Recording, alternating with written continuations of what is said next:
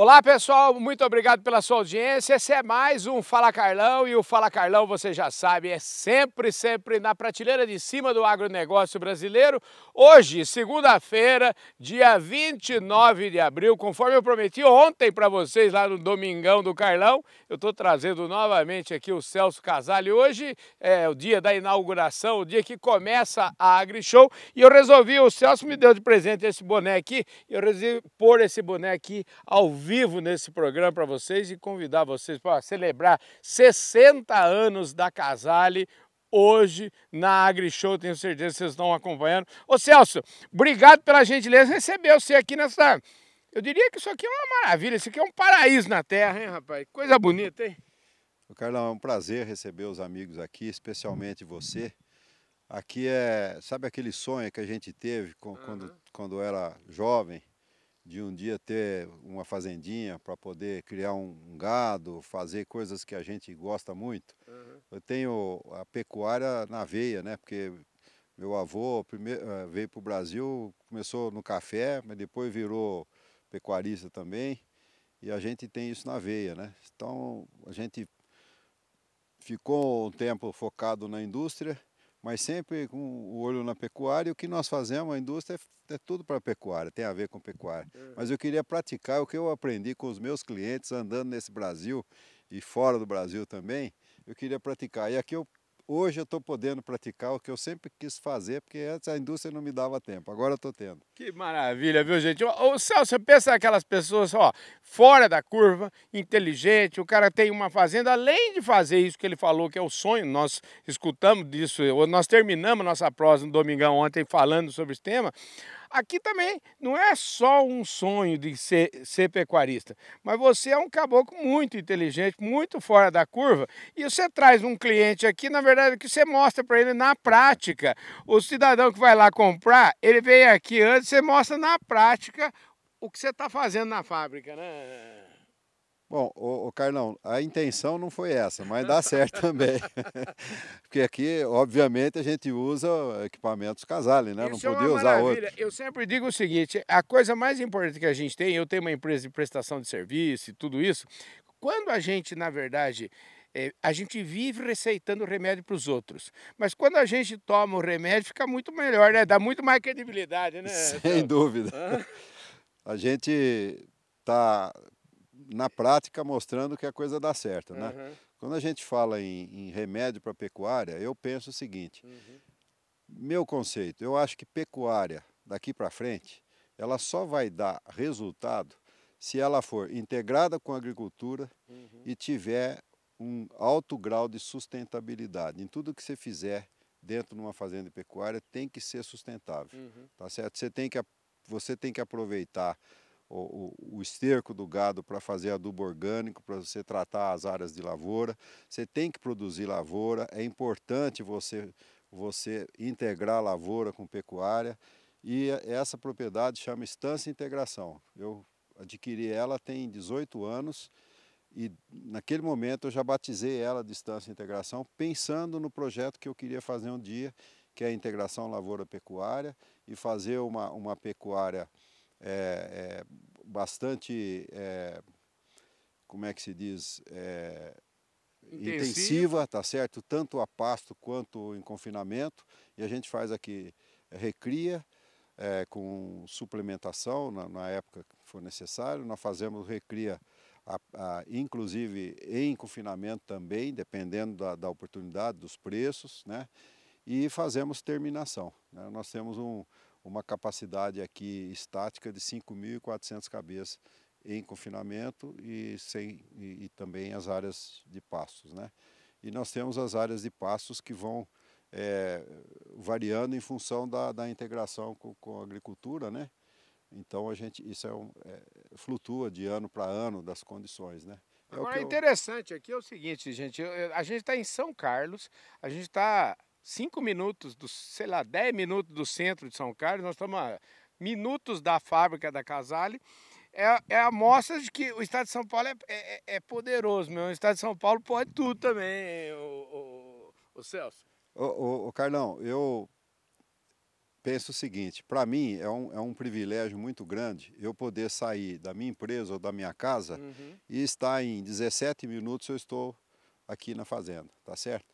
Isso pode ser feito em qualquer lugar do Brasil, uhum. não é só São Paulo. Sim. Você investir em tecnologia, você fazer uma, uma, uma agricultura e pecuária integrado, usando intensificação ou semi-intensificação, é uma coisa que você pode fazer em qualquer lugar.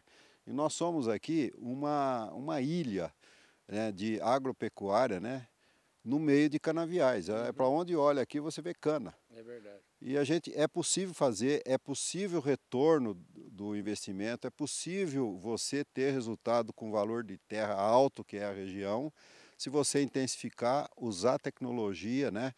E, e a gente não, não tem que saber é, fazer tudo, não. Nós temos, tá cheio de professor aí, nós temos que uhum. usar esses, esses caras que entendem de como fazer, uhum. né? E buscar, buscar uma consultoria, buscar uma ajuda para fazer. E a gente consegue fazer e dar resultado. Agora vem cá, como é que você consegue ter tanto. Eu ali, dei uma volta aqui, a gente deu uma volta aí de 3, 4 minutos aqui, dentro, sem sair da caminhonete, nós andamos aqui. Eu acho que nem andamos em estrada de terra aqui dentro, só tem asfalto aqui. Ou seja, você é um fazendeiro moderno mesmo. Mas uma coisa que me chama a atenção não é nada disso, não é nem o asfalto e nem as instalações que são modernas, é a qualidade do gado que eu vi aqui. Você tem um. Eu queria saber o seguinte: você é enjoado com a qualidade do gado, não é não?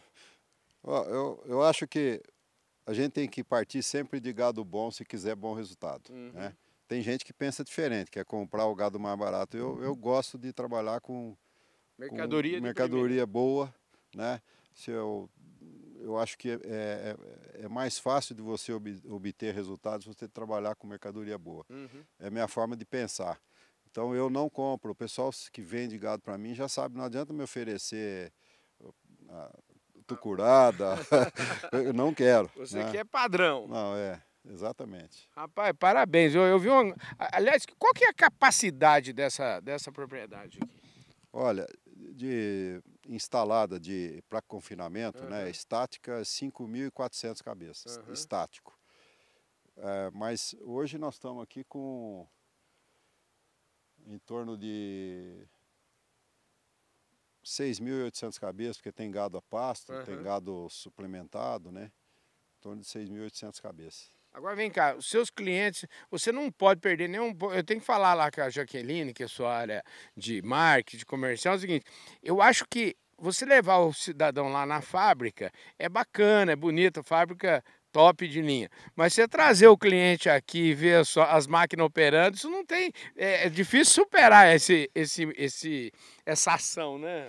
Olha, o, o pecuarista, ele não gosta de máquina. Uhum. Você chamar um pecuarista para ver fábrica, ele não tem interesse nenhum. Raros pecuaristas gostam. Uhum. Há pouco tempo teve uns pecuaristas visitando a empresa e por acaso o, o cara me ligou, eu não estava tava viajando, me ligou para falar que ele gostou demais da fábrica, tudo. Eu achei meio estranho. Eu falei assim, mas mas você, qual que é a sua? Não, eu sou engenheiro mecânico de formação. Eu falei, ah, bom, então tá entendido. Porque... Agora, você convidar um pecuarista para ver gado, uhum. ele tá cansado de ver gado, mas ele vai, ele, ele... viaja para ver, ele gosta de uhum. ver um, um, gado sendo bem tratado e tal. Mas ver fábrica, eles não, não têm muito interesse. Ele quer ver um produto bom que não dá problema para ele, não dá dor de cabeça para ele, né? Então é o que a gente tenta fazer, o produto melhor possível, né? Com a melhor assistência técnica possível. Quem está ouvindo isso aqui eu falar isso e entende, sabe que isso não é uma coisa simples uhum. e que não se faz isso de um ano para o outro. Não adianta querer. É um processo que demora anos para você atingir o nível que, que a Casale está hoje. Nós sofremos muito até chegar nisso, uhum. mas nós temos um, toda a condição de atender é, com rapidez enquanto a peças e serviço, né, é, qualidade do produto cada vez melhor. Isso é um desafio permanente, constante, né, que eu cobro muito. Eu tô, hoje eu estou só no conselho, mas eu sou assim um cara até chato de ficar repetindo isso. Porque você, não... É você, é, você é daqueles caboclos do conselho que tá lá para dar conselho mesmo, né? Você não tá dá conselho. De... Você não tá lá só para. Se não quiser parpite seu, é melhor não perguntar, né, Celso? Não, mas mesmo não perguntando, eu dou. Porque, porque eu acho assim, a experiência, o que a gente já viveu, uhum. a gente tem por obrigação. Eu falo pro meu pessoal, eu tenho que falar para vocês que é o meu, meu papel É minha obrigação. Hum. Eu já vivi isso aí. Eu sei o que não dá certo, o que dá certo, eu tenho que falar. Né? Uhum. Mas eu aprendo muito com os jovens. A nossa equipe é muito jovem. Né? O presidente da empresa é um, um cara de 40 anos, 41. Uhum. É. É, a, a, nossa equipe é jovem e tal. Eu aprendo muito com eles. Mas a, as experiências que a gente passou, a gente tem que transferir, transmitir para eles. Né? Com certeza. E eu aqui, eu estou fazendo é, essa pecuária aqui, fazendo coisas que eu aprendi mundo afora com os pecuaristas, nossos clientes. Eu vou, adoro visitar fazendas de clientes, eu faço muita pergunta, eu aprendo bastante. E venho aqui, erro também. a gente erra, né? Opa, né? enquanto mas, a gente vai errando, é sinal que a gente está. É, mas a gente se esforça para ir aprendendo com os outros e, e tentando fazer um pouco melhor cada dia, é o que a gente faz aqui. Maravilha. Ó, já falamos, hoje é dia, como eu te falei, vocês estão vendo esse programa na segunda-feira, no dia da inauguração oficial aí. Aliás, a inauguração oficial foi ontem, mas hoje já começa oficialmente a Feira AgriShow. E hoje, no final da tarde, vocês vão estar tá lá. Você está lançando um livro, né, rapaz? Que coisa Sim, rapaz, você vê que coisa. Depois de velho, a gente inventa cada uma, né? Que coisa, hein, rapaz? Não, é... Isso faz parte dessa história que você acabou de falar, porque é importante deixar esse legado para quem, quem vai vir depois da gente, não é verdade? É, eu, eu fazia tempo que eu tinha vontade de fazer um, uhum. um livro de, de causos, né? Sim. De tudo que a gente já viu e fez e apanhou e tal. E eu achei que era oportuno, nessa comemoração dos 60 anos da Casale, uhum. fazer esse livro para lançar nessa, nesse, nesse momento. E é um livro de fácil leitura, né? Uhum. É, de pequenos, pequenos capítulos, né? uhum. né?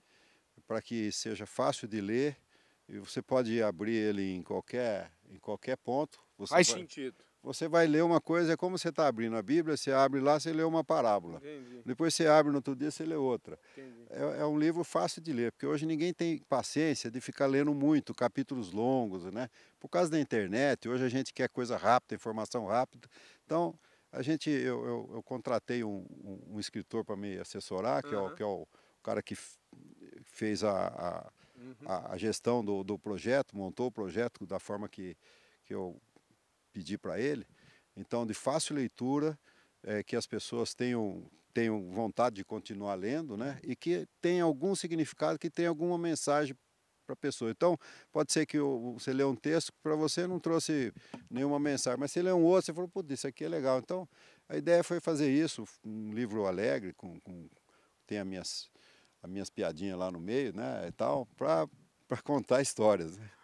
Ô Celso, deixa eu te falar, você imaginava, deixa eu te perguntar uma coisa assim para a gente fechar a nossa prosa aqui, eu saber o seguinte, você imaginava lá quando você saiu da faculdade e, e, e que você um dia está conversando aqui no Fala Carlão, olhando numa fazenda bonita igual essa, você tinha essa ideia ou isso era um sonho distante? Como é que, como é que você olhando em perspectiva hoje, que palavra, o que, que te vem na cabeça? O título do, do meu livro uhum. é Pegadas, Indo Além dos Sonhos. Oh, que legal. É um subtítulo. Uhum. Né? Então isso aqui é além dos sonhos. Uhum. Né? E é um privilégio, uma bênção, né? E, e, é muito bom né? você poder ver um pouquinho mais do que você sonhou. Eu nunca tive sonho de, de ficar um cara milionário, nada disso. Eu nunca sonhei com, com riqueza, eu sonhei em realizar coisas, uhum. né? E graças a Deus eu tô, tô eu deixei de ser um sonhador para ser um realizador. Porque sonhador é aquele que sonha, sonha, sonha, mas não realiza, uhum. né? E então eu tive meus, meu tempo de sonhador, né? Uhum. Mas eu sempre busquei ir atrás de fazer, né? Realizar coisas. E, e a gente, enquanto tiver saúde, né? E tendo paz, a gente vai, vai seguir realizando coisas para deixar para gerações futuras, né? Porque a gente está de passagem aqui, não é isso? Maravilha, é isso aí, Celso. Obrigado. Top de linha. Então, é pegadas. Como Pe é que é? Pegadas. Pegadas. Indo além do futuro. Indo além. Ah, desculpa, indo, indo além, além, dos sonhos. Pegadas, indo além dos sonhos. É isso aí, gente. 29 de abril, segunda-feira, o dia, o primeiro dia da AgriShow. E eu estou tendo o privilégio de poder deixar isso aqui eternizado para todos vocês. Obrigado pela sua gentileza nos receber aqui, viu, Celso? Obrigado você, Carlão. É um prazer recebê-los. Né? É, aqui é sempre um prazer receber amigos aqui na nossa propriedade. Aqueles amigos que estiverem vendo e tiverem vontade de conhecer, estou à disposição, tá? É um prazer. Vocês não fazem ideia do tamanho. Muito obrigado. É isso aí, gente. Que Fala Carlão mais top de linha. O Fala Carlão, você já sabe, é sempre, sempre na prateleira de cima do agronegócio brasileiro. Obrigado pela sua audiência. Um forte abraço. Se você ainda não se inscreveu no nosso canal, a hora é agora. Se inscreve no canal, aperta o sininho aí para você receber as nossas notificações.